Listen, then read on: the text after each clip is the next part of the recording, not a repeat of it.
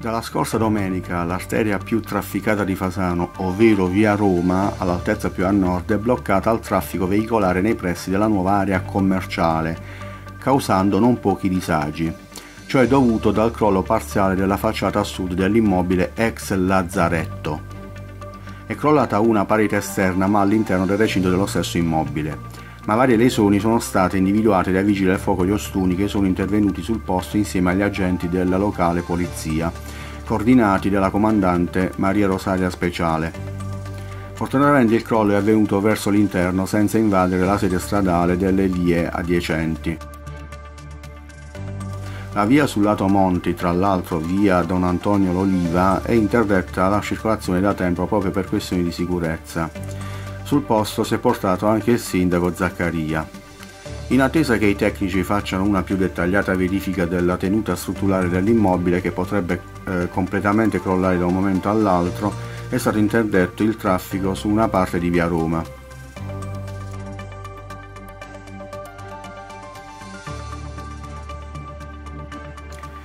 Il lazzaretto era una struttura che ospitava i malati di patologie infettive. Venivano costruiti nelle periferie dei paesi proprio per evitare contatti con le altre persone. Quello di Fasano fu edificato a oltre un chilometro di distanza da quella che era all'epoca la periferia a nord del paese. Fu eretto a ridosso della strada che collegava Fasano a Monopoli al capoluogo Bari. Risale al XIX secolo anche se fu costruito sulla base di un vecchio casolare già esistente. Durante la seconda guerra mondiale fu occupato per un breve periodo dai militari. Nel dopoguerra invece il comune lo affittava a famiglie che non avevano un alloggio in attesa della costruzione dei quartieri di edilizia residenziale pubblica nella zona sud-ovest del paese. Nel 1956 infatti il lazzaretto fu liberato dai residenti per volere del sindaco dell'epoca Florindo Perrini. Rimase vuoto per decenni fino a quando alla fine degli anni 70 qualcuno senza fissa dimora lo abitò abusivamente. Trascorsero altri 30 anni e precisamente nel 2008 il comune di Fasano decide di alienarlo su direttiva del sindaco Lello Di Bari e dell'assessore al bilancio Pinuccio Zaccaria. Leggiamo testualmente il comunicato dell'epoca.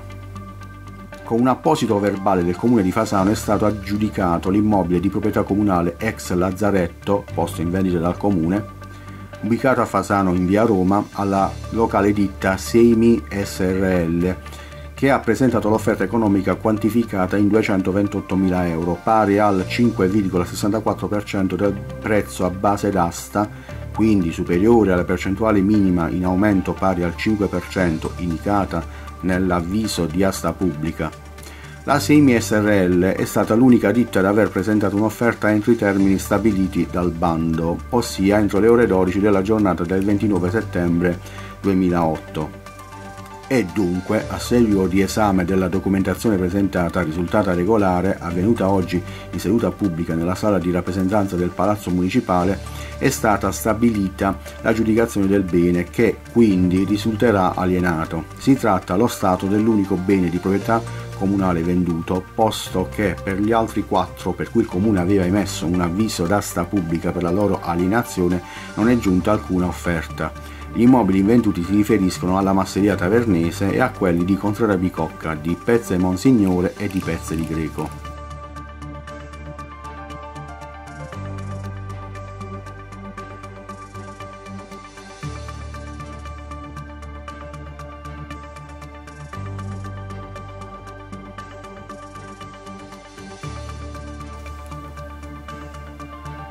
L'immobile è composto da locali deposito di 220 m2 al piano terra, da un'abitazione di 195 m2 al primo piano, oltre a una balconata di circa 300 m2.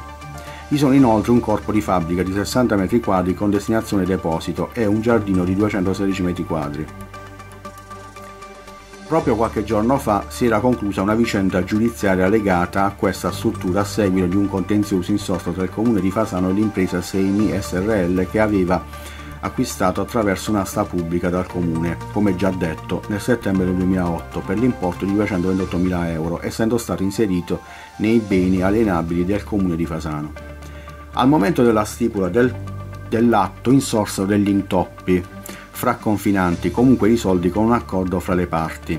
Si realizzò così il progetto di ristrutturazione La Semi SRL cedette a un'impresa di Carovigno, ma al momento della stipula dell'atto di vendita si scoprì che il lazzaretto non poteva essere venduto perché sottoposto a vincolo di interesse culturale.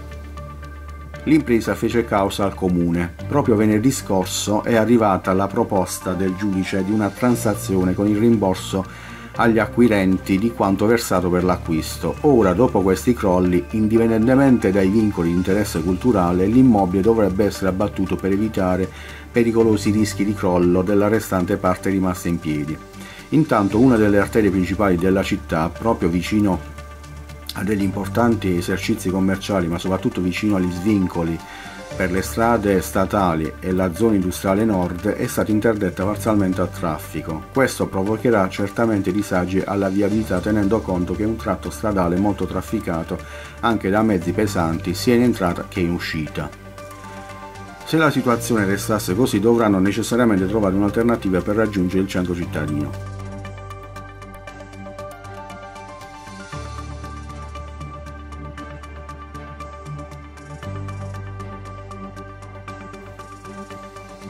Molti automobilisti incivili per attraversare la zona interdetta stanno utilizzando il marciapiede recando danni anche alla segnaletica vicina.